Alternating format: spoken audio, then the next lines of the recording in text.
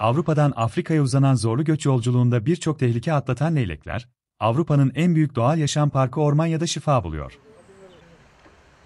Göç yolculuğunda devam edemeyen leylekler, düşkün leylekler evinde ağırlanıp, bakım ve tedavileri yapılıyor.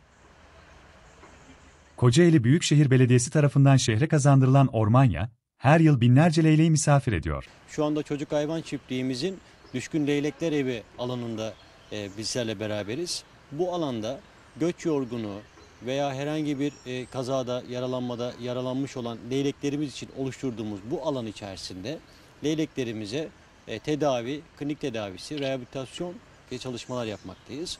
Bu alan içerisinde yaklaşık 800 metrekarelik bir alanda e, 90 metre kapalı alanın olduğu, içerisinde kum havuzu, gölet ve benzeri alanların yer aldığı e, ve yer- yerden ısıtmalı bir e, barınağın yer aldığı bir alan burası.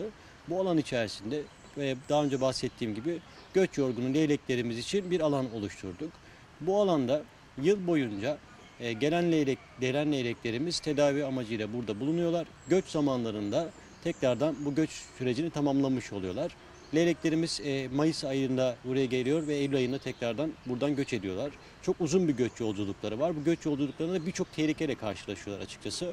Bu karşılaştıkları tehlikelerde elektrik çarpmaları ve avlanma gibi bazı durumlar söz konusu olabiliyor. Bu durumda Ormanya Doğal Yaşam Parkı'nın Yaban Hayat Kurtarma ve Rehabilitasyon Merkezi'nde bütün tedavi ve klinik çalışmaları gerçekleşmiş oluyor. Sonrasında bulunduğumuz alanda leyleklerimizin rehabilitasyon çalışmaları tamamlanıyor ve göç zamanı geldiğinde leyleğimiz tekrardan göç yolculuğuna devam edebiliyor. Bu alanın en önemli özelliklerinden bir tanesi e, buraya gelen leyleklerimizi biz halkalama çalışmaları da gerçekleştiriyoruz ve böylece Türkiye'de halkalanan bir leyleği Afrika yolculuğunda, e, göç yolculuğunda tekrardan bu şekilde uğurla- uğurlamış oluyoruz leyleklerimizi. Aynı zamanda çocuk ve gençler, yetişkinler bu alana geldiklerinde oluşturduğumuz Düşkün Leylekler Evi e, çatısı altında leylekler için yaptığımız rehabilitasyon çalışmaları bilgilendirmeler gerçekleştiriyor.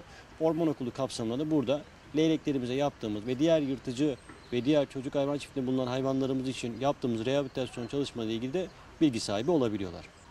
Ormanya Doğal Yaşam Parkı'nın en önemli e, donanımlarından bir tanesi yaban hayat kurtarma ve rehabilitasyon merkezine sahip olabilmesi. Bu merkez içerisinde veteriner hekimimiz, biyoloğumuz ve hayvan bakıcısı görevlerimizle, teknikerlerimizle ve diğer görevlerimizle beraber alanımızda yaban hayvanları statüsünde olan bu hayvanların tedavi, bakım ve rehabilitasyon, rehabilitasyon çalışmalarını gerçekleştirmekteyiz biz. Bu rehabilitasyon çalışmaları sonucunda doğaya tekrar geri dönemeyecek olan hayvanlarımız, bunlar içerisinde yırtıcı kuşlar, pelikanlar gibi farklı e, hayvanların da tekrardan barınma alanlarını oluşturuyoruz. Ve bunlar da ömürlerinin sonuna kadar bizlerin misafir olarak çocuk hayvan çiftliğinde bulunuyorlar bu alan içerisinde.